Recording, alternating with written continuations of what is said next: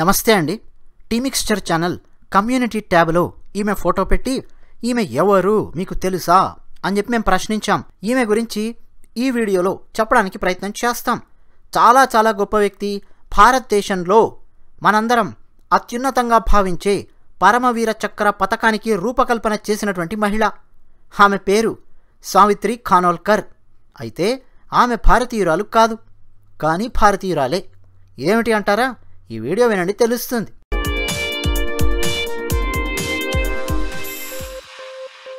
ఈమె పేరు Eva van మే డిమారోస్. సింపుల్గా చెప్పాలంటే ఈవా. ఈ ఈవ్ అని చెప్పి పిలుస్తూ ఉంటారు.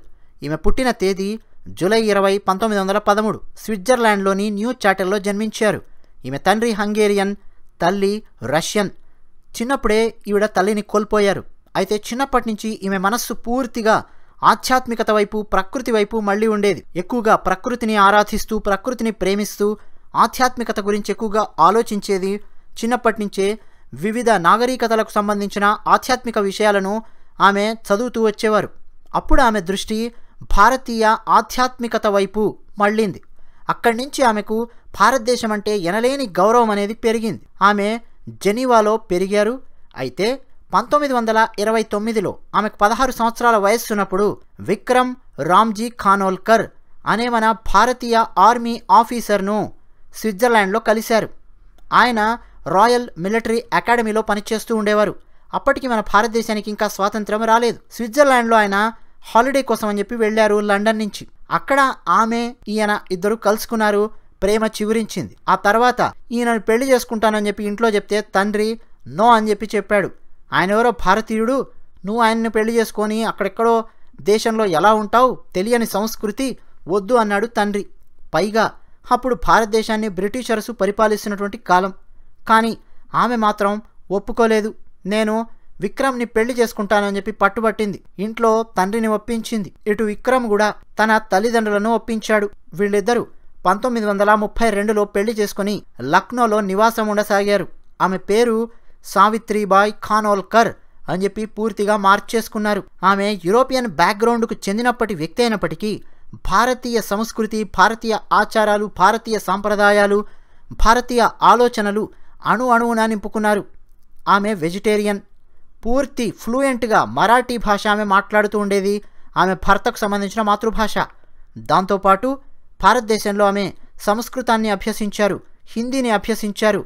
ఇంగ్లీషు సరే సరి. భారతీయ సాంప్రదాయకమైనటువంటి సంగీతాన్ని ఆమె నేర్చుకున్నారు. డ్యాన్స్ నేర్చుకున్నారు. పెయింటింగ్ వేయడం నేర్చుకున్నారు. ఒక సందర్భంలో మీరు విదేశీయురాలు కదా అని చెప్పి ఒక జర్నలిస్ట్ అంటే కాదు కాదు పొరపాటున నేను యూరోప్లో పుట్టాను. నా ఆత్మ భారతీయ ఆత్మ అని చెప్పి ఆమె సమాధానమిచ్చారు. దాంతోపాటు ఆమె భారతీయ పురాణాలకు సంబంధించిన ఇతిహాసాలకు సంబంధించిన ఎన్నెన్నో పుస్తకాలను వాటి మీద వచ్చే విశ్లేషణలను చదువుతూ ఉండేవారు. బహుశా ఆ రోజు భారతదేశంలో ఉన్న అతి తక్కువ మందికి తెలిసినటువంటి భారతీయ పౌరాణిక విషయాలు ఆమెకు కూడా తెలుసు. ఆ స్థాయిలో ఆమె అధ్యయనం చేశారు. శ్రీ రామకృష్ణ వేదాంత ఆశ్రమానికి ఆమె వెళ్ళి ఎన్నెన్నో సేవా కార్యక్రమాలను నిర్వహిస్తూ వచ్చేవారు. పంతొమ్మిది వందల నలభై ఏడు దేశ విభజన జరిగిన సమయంలో కూడా మహిళా శరణార్థుల కోసం ఆమె భారతదేశంలో ఎన్నో సేవా శిబిరాలను నిర్వహించారు.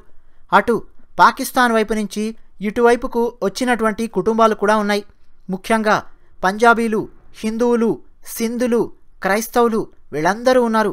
వాళ్ళందరి కోసం ఆమె సేవా శిబిరాలను నిర్వహించారు. వాళ్ళకు సంబంధించిన డేటా తీసుకెళ్ళి అధికారులకు అప్పగించడం వాళ్ళకు కావాల్సిన ఆహార పదార్థాలను అందివ్వడం ఇవన్నీ కూడా ఆమె చూసుకుంటూ ఉండేవారు. భారతదేశానికి స్వాతంత్రం వచ్చిన తర్వాత భారతీయ సైన్యానికి అత్యుత్తమ పోరాటాన్ని ధైర్య సాహసాలను చూపించిన సైనికులకు ఇవ్వడం కోసం ఒక పథకాన్ని రూపొందించే బాధ్యత మేజర్ జనరల్ హీరాలాల్ అటల్ మీద పెట్టారు సర్దార్ వల్లభాయ్ పటేల్ గారు.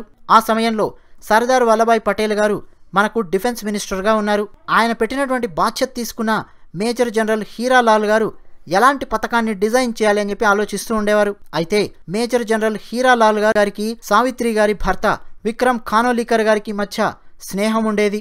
వీళ్ళిద్దరూ మిలిటరీ ఆఫీసర్స్ కాబట్టి ఒకరి కుటుంబం గురించి మరొకరికి తెలిసి ఉండేది. ఈ హీరాలాల్ అటల్ గారికి సావిత్రిబాయి గురించి బాగా తెలిసింది. ఆయన మాట్లాడుతూ ఉంటే ఆమె చాలా సమాధానాలు ఇస్తూ ఉండేవారు. ఆమెకున్నటువంటి జ్ఞానానికి ఈయన ఆశ్చర్యపోయారు.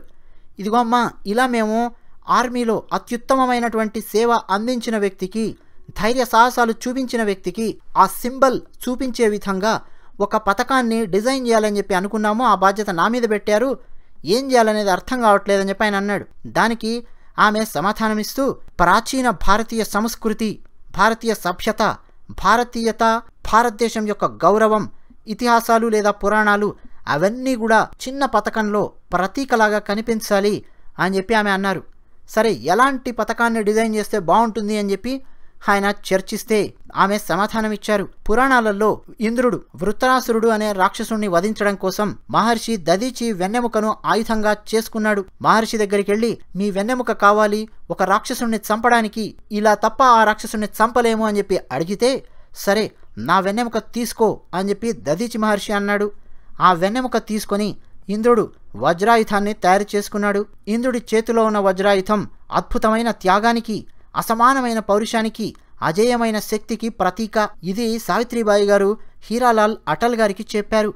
దాంతో ఆయన ఆశ్చర్యపోయి సరే అమ్మ అలాగే పథకాన్ని డిజైన్ చేయి అని చెప్పి ఆమెకు అప్పగించారు. ఆమె పరమవీర చక్ర మెడల్ను డిజైన్ చేశారు. దానికి పరంవీర చక్ర అని పేరు పెట్టడంలో కూడా సావిత్రిబాయి కానోల్కర్ గారు అత్యంత ముఖ్యమైన పాత్ర పోషించారు. ఇంగ్లీష్లో చెప్పాలంటే will of the ultimate brave అని చెప్పి చెప్పాలి. ఈ పురస్కార పథకం వృత్తాకారంలో ఉంటుంది. కాంస్య పథకం దానికి ముందు వైపున భారతదేశపు చిహ్నమైన సింహాలు అవి కనిపిస్తాయి. దాంతోపాటు నాలుగు ఇంద్రుడి వజ్రాయుధాన్ని సూచించే వజ్రానికి సంబంధించిన వజ్రాయుధానికి సంబంధించిన నమూనాలు కనిపిస్తాయి. ఈ పథకానికి ఊదా రంగు రిబ్బన్ను జత చేసి మరీ సైనికులు ధరిస్తారు. అన్నట్టు పరమవీర చక్ర అవార్డు సంపాదించడం అంత సులభమైన విషయం కాదు. పంతొమ్మిది వందల యాభై రెండులో ఆమె భర్త విక్రమ్ ఆయన స్వర్గస్థుడవడంతో సావిత్రిబాయి గారు ఒంటరైపోయారు. ముప్పై తొమ్మిదేళ్ళ వయస్సులో ఆమె భర్తను పోగొట్టుకున్నప్పటికీ ఆమెలో ఏమాత్రం ధైర్యము స్థైర్యము తగ్గకుండా భారతీయ ఆధ్యాత్మికత గురించి ఆమె అధ్యయనం చేస్తూ ఇతరులకు చెబుతూ ఉండేవారు. Twenty sixth November nineteen ninety అప్పటి వరకు అంటే ఆమెకు డెబ్బై ఏడు సంవత్సరాలు వచ్చేంత వరకు సావిత్రిబాయి గారు జీవించారు. అంతకాలం కూడా ఆమె భారతీయ సైనికుల భార్యల సంక్షేమం కోసం నారీ ఉపకార సేన అన్న సంస్థను స్థాపించి ఎందరికో ఆమె సహాయం చేశారు. ఆ తర్వాత ఆమె పూర్తిగా ఆధ్యాత్మికత వైపు మళ్ళారు. ఆశ్చర్యకరమైన విషయం ఏంటంటే అత్యంత యాదృచ్ఛికంగా జరిగిన సంఘటన. ఏ సావిత్రిబాయి ఖానోల్కర్ గారైతే పరంవీర చక్రాను డిజైన్ చేశారో మొట్టమొదటి పరంవీర చక్ర అవార్డు పొందిన మేజర్ సోమనాథ్ శర్మ ఆమెకు బంధు అవుతాడు. మేజర్ సోమనాథ్ శర్మ గారు పంతొమ్మిది వందల నలభై ఏడు పాకిస్తాన్లో జరిగినటువంటి యుద్ధంలో అసమానమైన ధైర్య సాహసాలను ప్రదర్శించి అమరుడయ్యాడు. మరి ఆ మేజర్ సోమనాథ్ శర్మ ఆయన కథ చరిత్ర అసలు ఆయన ఏం సాహసం చేశాడో మీరు తెలుసుకోవాలనుకుంటే టీమిక్స్చర్ ఛానల్లో మీరు చూడొచ్చు. ఆ వీడియో లింక్ ఈ వీడియో కింద డిస్క్రిప్షన్లో ఇస్తున్నాం. అలాగే పిన్ చేసి పెట్టిన మొట్టమొదటి కామెంట్లో కూడా ఉంటుంది. దాంతోపాటు టీమిక్స్చర్ ఛానల్లో భారతీయ ఆర్మీకి సంబంధించిన ఎన్నెన్నో ఆసక్తికరమైన అంశాలున్నాయి.